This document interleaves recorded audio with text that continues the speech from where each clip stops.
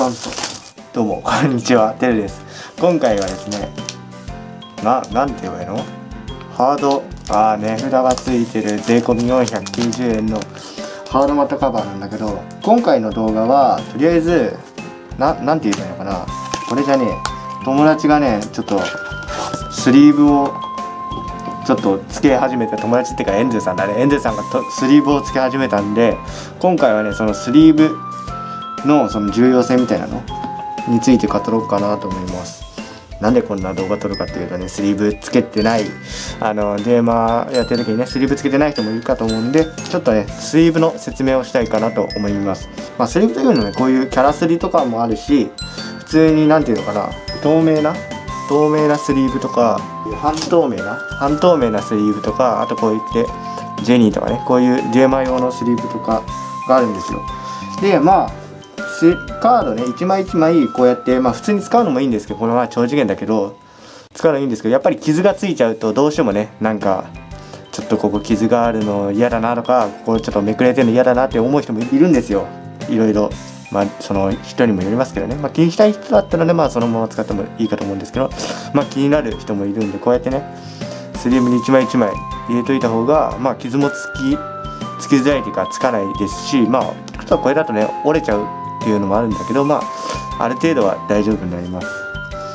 でまあデッキもねデッキ40枚あってさシャッフルとかしてるとどうしてもやっぱりカード同士で擦れて傷ついちゃう傷ついちゃうということでまあこうやってねまあキャラスリじゃなくてもいいんだけどねこうやってスリーブにちゃんと1枚1枚入れてこうカードを保護するみたいな感じで。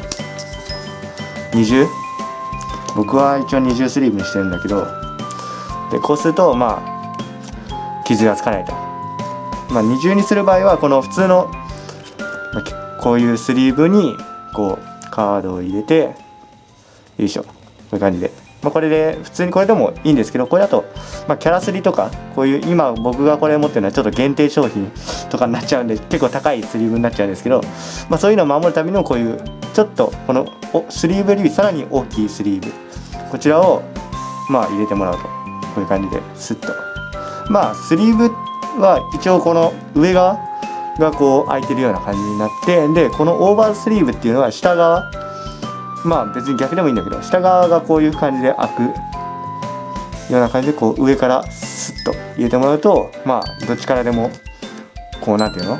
カードは一応上からでも下からでも出ないようには一応なってます。はい。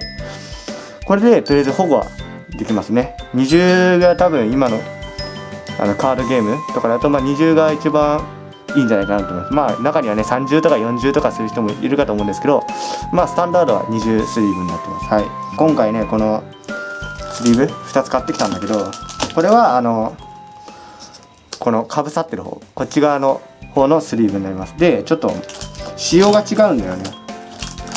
これはなんか模様が入ってちょっとツルツルした素材になってるんだけどこれはなんかマット素材っていうのかな。ちょっとねカードがあのなんかよくくっついちゃったりするんですよ。こうやってパチパチしてて。くっついちゃったり湿気とかでね。くっついちゃったりするのを防ぐやつ。になりますあとはシャッフルとかする時も結構すりやすくなったりとかするんですよね。あこんな感じこんな感じ。ちょっとね半透明な感じかな。まあ入れてみるとちょっとなんか何枚か。ああじゃあ同じどんどん吸い込むのでちょっと試してみましょうか。とりあえず見え方としてはこんな感じ。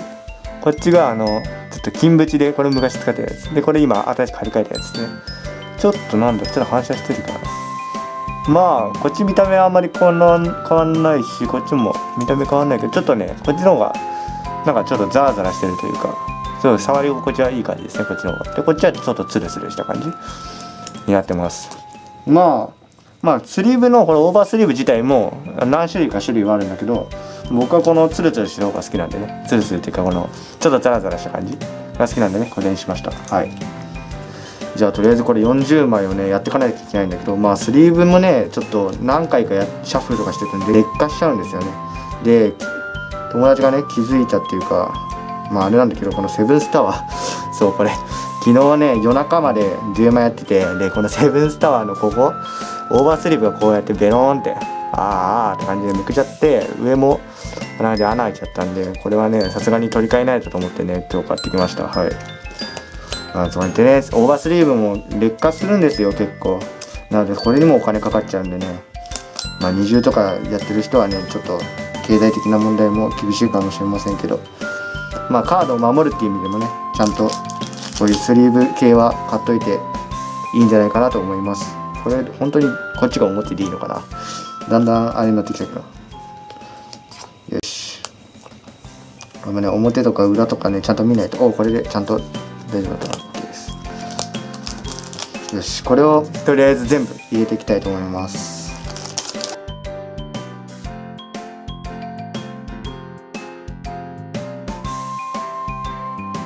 ミラランテのデッキをずっとあの七七さんが使ってて今練習ずっとしてるんで彼のためにもちゃんとこうやってスリープしてシャッフルしやすくしないといけないですね。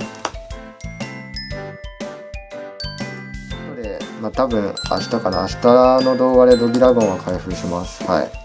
とりあえず今回これだけですね。でなんかさ横の方がわかるかな？見見えるかな？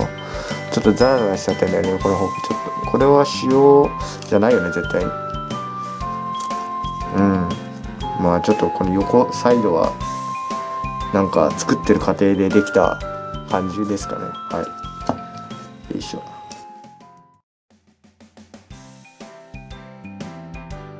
ちょっと高い400今回490円？まあ大体500円ぐらいか。オーバースリーブ1つでもう500円ぐらいしちゃうんで結構ね高いんだよね。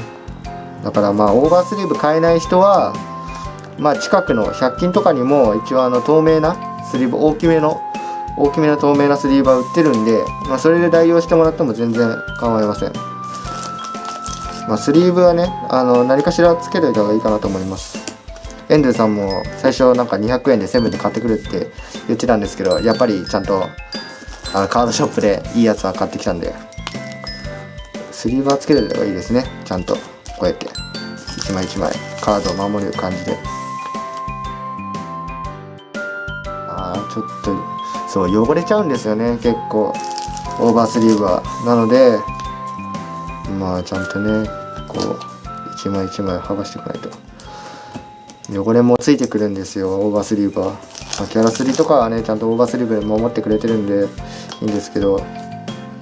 オーバースリーブのはどうしてもね汚れとかあと傷とかが結構ついてきちゃうんでどんぐらいだろうな。まあ使っててだんだんなんかシャッフルしづらいなとかあとはまあ傷ついてるなこれとか汚れついてるなこれと思い始めたらもう取り替えた方がいいですね。だいたい僕これ使ってるの多分半年ぐらいかな。半年ぐらい使ってこんぐらいもう結構ボロボロになってるんでまあ結構寿命は長い方かなと思うんですけどでもまあ半年に1回ぐらいかまあよく DM やってる人だったりとかはね2週間とか1週 ,1 週間はないか。まあ1ヶ月以内に1回は変えるとかそういう感じですかね。僕はそんなにねオーバースリーブとかっていうのは何ていうのこうずっと使っててあの使わないデッキとかもあるんで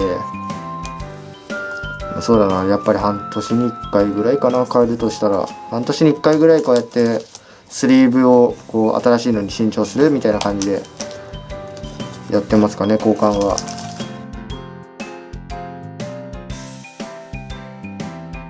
まあ40とか50でもねやってる人多いんですよ。まあ、ゲームやってる人はそんなにいないかな。そのあのカードの大きさも大きいですしあの他のカードと比べて。大きいですしまあそういう仕様のカードっていうのが少なくてまあ4050とかにしちゃうと高いんですよ。あとシャッフルがしづらいっていうのもあるんで。まあ20かな。やっぱりおすすめはおすすめは20ですかね。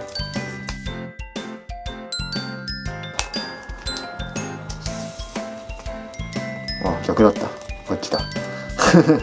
オーバースリーブのオーバースリーブかぶせようとしてた。危ねえ。でラスト。あやぶさ丸子よし。これで40枚。出すだね。一応60枚入りを2つ買ってきたんで3つ分デッキがカバーできますね。まあこれは後で取っておきましょう。よいしょ。とりあえずミラダンテだけですね。おお新しくなってちょっと。あすつるつる滑る。新しくなったらねちょっとつるつる滑りやすくおおすごい。これシャッフルしやすくなる。ああしやすいですねシャッフル。いいですねいや新調するとやっぱいいね。なんか使い心地が良くなりますね。はいという感じでこういう感じでね全部新しく変えることができました。ちょっとランプついてるなまあいいや。ビデオカメラの方がランプついて反射しちゃってるけど。とりあえず、えー、スリーブの交換終了しました。でこの使い終わったスリーブなんですけど、まあ、これはねまあ傷ついてたりとか、まあ、しちゃうんであとまあ破破れてるやつはもう処分しちゃいますけどまだね全然このまだ何か入れれるよっていうやつはなんかレアカードを守るためにそれ用の二重スリーブにしたいなと思います。これはねちょっとね在庫がもうないんですよ僕の手元に。なので、まあ、この金縁のやつはレアとかあと光り物をカバーするようなあのそのケースに入れたいと思います。はい。じゃあとりあえず今回の動画はまあとりあえずななんていうのスリーブの重要性みたいなスリーブをつける意味みたいな感じのをちょっと説明しました。まあ是非ねあの近くのカードショップとか売ってたりするんで、まあ、500円ぐらいかな大体。大体500円ぐらいでスリーブ売ってますんでまあこのキャラスリと合わせると大体1000円いくぐらいになります。まあ近くのコンビニとかねあの100円ショップでこういう透明なスリーブは安い透明なスリーブ？こういったスリーブは売ってると思うんでまあお金がない人は100円ショップとかで是非買ってみてください。まあそのスリーブ1枚、まあ、オーバースリーブにしなくても1枚だけあの透明なスリーブ1枚だけでも全然いいと思いますんで、まあ、是非ねあのカードのサイズを調べてまあスリーブのサイズも調べて買ってみてください。というわけで今回の動画は以上になります。ご視聴ありがとうございました。バイバイ。